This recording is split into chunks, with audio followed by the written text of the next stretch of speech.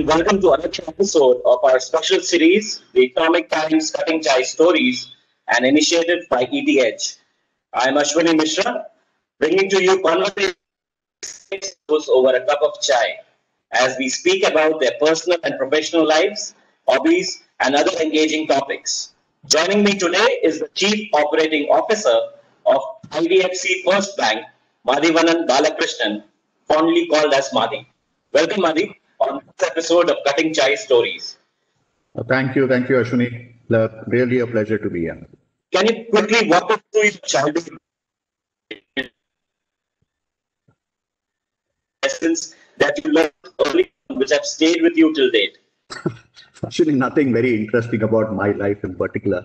Uh, I am a guy who is a Tamilian born and brought up in Bombay. So I'm more of a Maharashtrian by the way I've grown up. So my Marathi is better than my Tamil, yet I can speak Tamil reasonably well. Uh, I did all my education. I come from a typical lower middle class family uh, in the suburbs of Mumbai. Uh, did my education uh, within Bombay University. Uh, got into IIM Cal. Uh, finished, I mean, specialized with marketing and finance as my primary drivers aspiration was always to join FMCG uh, company, the typical one, you know, the Unilevers of the world, and try to want to get and become a good sales and distribution expert. But life had different plans. Uh, I landed with a, a paint company. Uh, very quickly, I moved into Pepsi. So I did a lot of sales and distribution in uh, Pepsi Foods Limited when they were just coming into business. So hardcore sales and distribution, typically that FMCG bit sort of uh, bit into me. Had one or two more stints and moved from Pepsi into a semi you know, uh, kind of a, durable kind of a business, which is primarily uh, garments. So as a part of the Arvind Mills group, spent around another four, four and a half years. And then I think as destiny could have it, uh, joined ICICI Bank uh, in 1999. And since then, I've become more of a financial services guy and have done virtually every aspect of the business. Uh, you know, but this this is this is typically how my career has progressed. But childhood was, you know, classical fun, the typically what you would grow up in the 80s, have your own aspirations, uh, challenging and uh, uh multiple aspects of life. So, so it's, it was great fun growing up. So, how, how different were you uh, kids from your age, Madhi? You know, so any anything peculiar about you?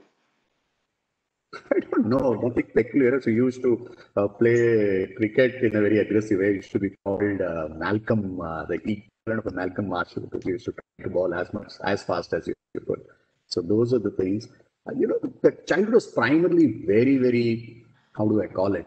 Freedom was of a very, very unique kind. I mean, we, we, we are one of those generations which has seen, uh, you know, a telephone from the uh, good old days, which is a dial telephone, uh, to the various yes. aspects. The, the, first one of the lucky people to actually handle that first Nokia, which was like a brick, and then learn about and pay. Uh, so, so life has been very, very different. I come from a typical railway family, so my my growth growth has been about Indian Railways has played a very, very active role in my life from the time as a childhood. So studied in a railway school, stayed in a railway quarters. So, interesting in its own, but uh, yeah. So and Bombay itself was, uh, so given factors from the suburbs, Bombay itself was a traumatically new experience, but uh, uh, sure. multiple changes. If there is anything which has been constant in my life, that's been changed. I'm a typical Geminian. I tend to get very, very bored very quickly. So I keep moving in things, whether it be during my childhood, a profession. Uh, so I think the biggest, the longest stint that I ever done is in ICICI Bank. But even within that, I've done multiple roles. Now ICICI was that. So you uh, what you learn in a place. You touched upon, you know, the change is the only constant for you. What what kind of uh, you know uh, uh things propel you to do things, you know, to make make a difference? So there are two things.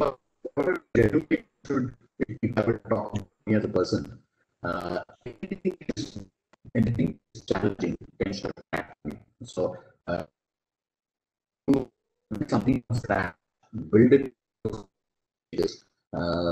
go to various uh, pushes and pulls that comes with when you're creating anything uh, new.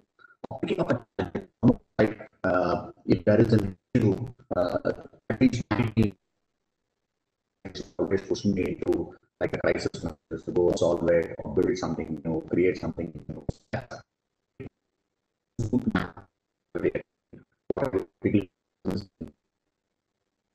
new. That's what typically uh, pushes, and then you, you start expecting. So I don't know whether it's a good trade or a bad trade, but I've been enjoying it. So as long as I'm enjoying it, it's fun. So maybe one day I'll feel tired and want to just settle down and uh, do things which are normal and boring. Adi, what have been the achievements that uh, you have been proud about? You know, so over the years of your of your professional journey. No, I won't be able to single out anything specific actually, but life has been, uh, you know, a sine curve of ups and downs. Uh, let me let me mention the one of the largest franchisees in the between 2000 to 2010 uh, is something which I hold very dear. I think we virtually created the market from scratch. We went into new segments, new markets, a very nice blend of both technology as well as uh, very nice product propositions. So that that's something which is really uh, fantastic. Again, uh, and it was not like, like like I was telling you earlier. It was a very comprehensive experience. We actually went through the multiple risk models, talking about the collection pressure, and the markets went down. So that that's one. Uh, a, chal- a, a, genuinely big challenge which made me very humble was the 3i Infotech experience you know everybody wants to lead a company build it as we scratch so uh, the fact that i was able to bring it out of the morass that it was in which was basically on the financial side and build it into an operating company which was able to uh, sort it out uh, from a financial angle saving uh, ensuring that all our employees are well protected uh, gave me a lot of uh, satisfaction. But at the same time also humbled me because it was not able to grow it dramatically as I would have allowed it to uh, go into a different uh, trajectory altogether. So that's also a bit of an humbling experience. Uh, and then this entire digital journey of constantly working with a larger ecosystem, not just, I mean, banking is no more now limited to the bank as a player. How do you embrace the multiple ecosystems, uh, creating that connect uh, within the much wider world? uh, I think those are some of the stuff that I'm extremely happy and it's been great learning experience. It's been very satisfaction as a part of the career. So if you give me a chance to live life again, I'll go through it all over once again. So, so those are some of the achievements that I really feel proud about. How do you lead your team? Hopefully, you know? the best is yet to come. Yeah. So. Okay. I'm sure yes, Madhi. Yeah, yeah. In terms of leading your team, you know, where did you pick up your team skills and what is about your behavior that attracts uh, people towards you i don't know so usually wherever whenever whichever teams i've worked with people at least if i can claim it very openly people like to work with me uh, i'm not one of those classical Theory X bosses I genuinely I understand what my lack of are and try to build people within my teams who will be able to complement that skill. Uh, like for example, I, am not a hardcore technical guy. I'm not. I'm not an engineer by profession. So I did for Bombay University. So, but but the fact that I'm able to handle technology across both as a provider and as a user uh, is effectively possible because the team members are usually people who bring in some of those right skills. Uh, I think, uh, and and as a leader, I always let go of the baton. If somebody else is much better, then I would rather that he drive the agenda, and I'm happy to help him, you know, navigate the organizational challenges or any kind of an environmental market or the budgets and whatnot. So, so that's been a good play. I, I usually my teams are like a bunch of rocket scientists who are who each one of them has their own skills, and the model is always not a classical, uh, you know, an organizational hierarchy where the senior guys drives the agenda. Uh, so it's it's much more like a bunch of people coming together in an agile way, delivering something, and then moving on in life. So so that's that's helped me. So people feel much more comfortable. That's been my leadership style. I give quite people quite a bit of uh, rope as long as the accountabilities are very clear. And uh, whenever there is an issue, I'm always there to take the blame and you know shoulder it on. So I think that's that's been so. If people, at least I believe so, that people love to work with me, and I usually form nice teams which uh, are able to deliver what are supposed to be delivered. Right what do you enjoy doing in your free time, Amadi? You know, in the little free time that you might have, you know, any any hobbies or interests that you pursue, any musical instruments that you play? You know, right from childhood, I always wanted to you know, play the tabla, but unfortunately, tabla is too complicated. You have to learn it, and I don't have the time or the inclination to learn anything new. Uh, but I can play the djembe. I can play what you typically call the three, uh, the, the, the, the bongo, which helps me to, in my, in my own way, I've not learned it. So in a way, I live my dream through my son. My You son is a you do fantastic this son of quite, quite frequently. You know, it's again on and on. So No, so uh, see, I have I love this concept of doing a mehfil with my friends. So Oh. Usually, whenever you do the mehfil, there are always people who sing very well, and I'm the guy who can't sing for nuts. but uh, you give me something to play on, and uh, I become you know I blend in very well with the party. Otherwise, I'm typically a very shy person. But I really I really love percussion instruments. Like I told you, my son is a fantastic tabla player. taking some formal training, or or you know, it's at all, actually. No training. This is what. So that's one of my. I, I attempted it once or twice, but it just that the schedule. Maybe maybe I need to put in much more effort, but. Uh, uh, but I, but I managed to play reasonably well. That's what my friends tell me. So I think I'm pretty okay. But but when you do that, I really sort of lose myself. You're completely focused on that. You enjoy it. Uh, it's it's a great. I'm sure it's a great, uh, great creative outlet, uh, Madhi, You know, so yeah, yeah. how have you invested in your uh, in your yourself, Madhi, in terms of improving your skills? You know, is it more that you learn it on the go, or there are some areas or some books or some uh, podcasts, for for example, that you listen to, you know, to keep updated of the new skills that happen? So there are two core areas in which uh, I've typically been. One is on the job itself. So there is this dramatic amount of see when you're when you're doing a role, uh, whether it be the CTVO or the chief operating officer, you have the ability to learn both from your own internal colleagues and uh, fantastic partner ecosystem. So you know there's an entire new world of cloud. So there's some very strong players who we talk to them, we invite with them. This interactivity helps in a big way.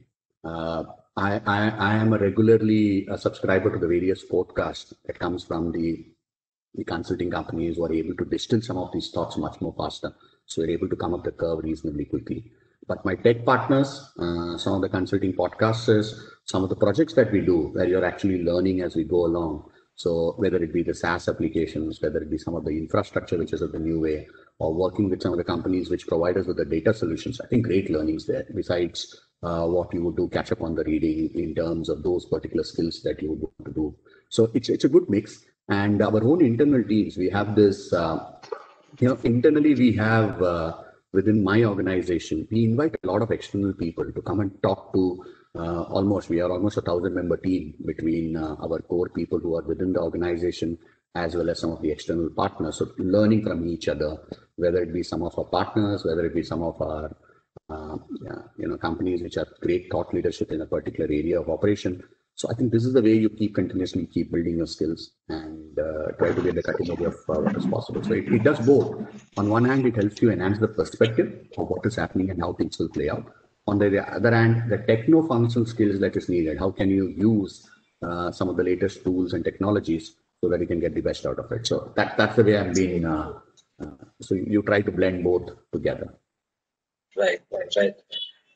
Apart from the corporate uh, bandit, you know, do you you have something uh, like a pers- personal mission, you know, so something that you think you would like to do after you retire, or I always thought I'll become a good teacher, as in whenever I decide to hang my boots, maybe go and work uh, in my alma mater as a visiting faculty or something. So that's something.